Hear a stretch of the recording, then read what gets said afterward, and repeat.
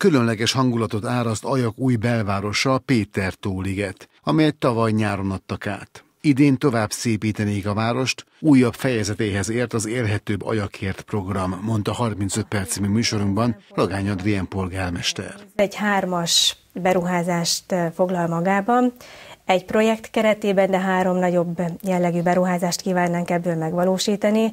Ennek a nagyobbik részét egy csapadékvíz elvezetés foglalja magában, a körülbelül 700 milliós uniós forrásból nagyjából 400 millió forintot fog ezt magába foglalni, ami azt jelenti, hogy több olyan útszakasz, ahol jelenleg még a csapadékvíz, a lehulló csapadékvíz problémát okoz, próbálnánk olyan formában elvezetni, ami természetesen mindenki számára a lehető legesztétikusabb és műszaki szempontból is megfelelő. A másik két része pedig ennek a projektnek egy-egy park és sétálynak a megvalósítása.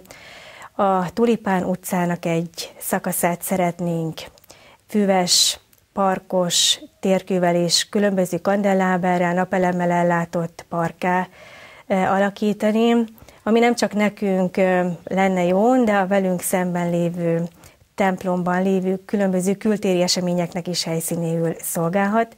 A harmadik része pedig egy sétálynak a kialakítása, ami a Péter tóligetet, ugye a mi kis városközpontunkat kötni össze a Bocskai úttal. Az energiaválság miatt több önkormányzati intézmény kellett idéglenesen bezárni takarékossági okokból. Ez indította a település vezetését arra, hogy elkezdjék a leválást a földgáz hálózatról. Szeretnénk függetlenedni a földgáztól. Jelenleg eh, a tervek vannak folyamatban arra vonatkozóan, hogy a Pétertó területén lévő közintézmények termál víz energiájával kerüljenek majd eh, fűtésre, illetőleg nem csak a Pétertó területén lévő közintézmények, hanem a centrumban lévő óvodánk, iskolánk, egészségügyi házunk is.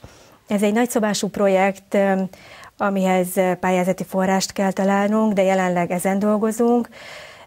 Pont a múlt héten volt kint egy tervezőmérnök, aki felmérte a helyszíneket, mindenfajta adatokat kért, szolgáltattunk is, és bízunk benne, hogy ez a projektünk, ha idén nem is, de a közeljövőben meg fog valósulni. Jak idei költségvetésének főösszege csak nem 1,7 milliárd forint, amely a beruházások mellett a biztos működést is garantálja. Azt is tervezik, hogy az Adi Endre utat összekötik a négyes főúttal.